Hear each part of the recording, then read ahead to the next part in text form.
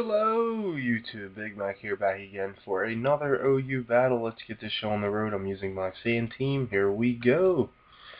Okay, so I have Garchomp, Zygarde, Aggron, Landorus,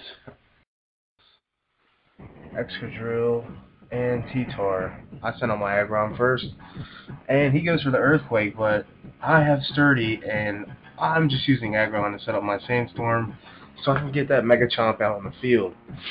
He goes to the Earthquake again, takes down my Aggron, and fuck it, you know. I, I mean, that's what I planned on doing anyway. So we got Garchomp, aka Mega Chomp. Go for the Dragon Claw. Don't know why he stayed in. I would have went out to Togekiss at that point, but hey, you know, it's whatever. He comes out to the Mamoswine. I go for Earthquake, thinking I'm going to kill, but I don't. I get him down 13%, and he misses the Icicle Crash, which is perfect. I go for the EQ, and he is dead. That is two pokes down on his team.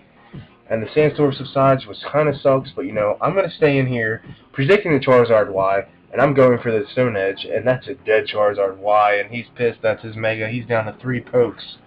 Okay, he sends out Togekiss. I switch out into my Excadrill, so I can get that Sandstorm back up, because my Excadrill knows Sandstorm, and I believe, yeah, it's just Excadrill, and Aggron, okay? And then T-Tar has Sand Stream. So, he paralyzes me. I stay in just to get some damage off because I have Iron Head, and he keeps flinching me with Air Slash because he is a dick. Serene Grace Air Slash because I'm Togekiss, rah rah rah. Whatever.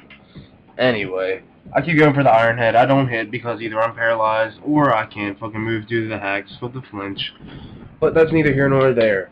I got the Sandstorm up. I got Landorus out there. Life Orb. Go for the Rock Slide. And that's a dead Togekiss. He's got Zapdos and Blissey left. Landorus is just a force to be reckoned with. I just put up my Stealth Rocks.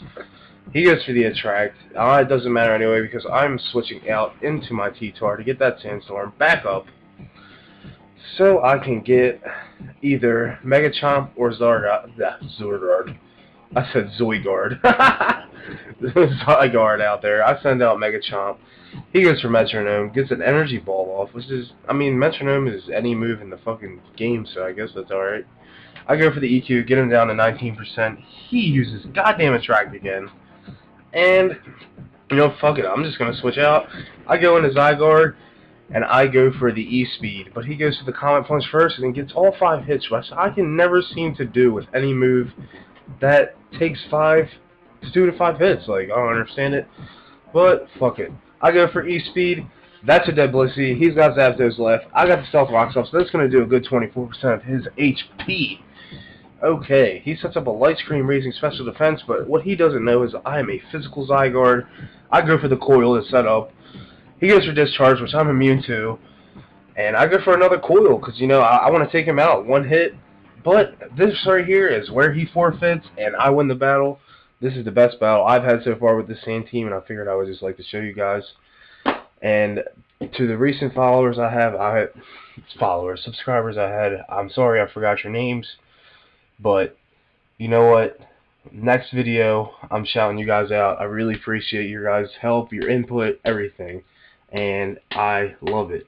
I'm going to keep doing showdown videos. Can't do the LPs anymore because I don't know why, but my, my GBA Visual Boy ROM and stuff isn't working anymore.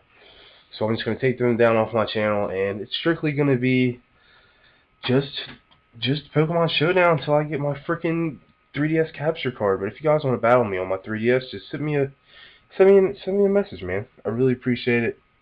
Stay easy, guys. Big Mac here. Have a good night.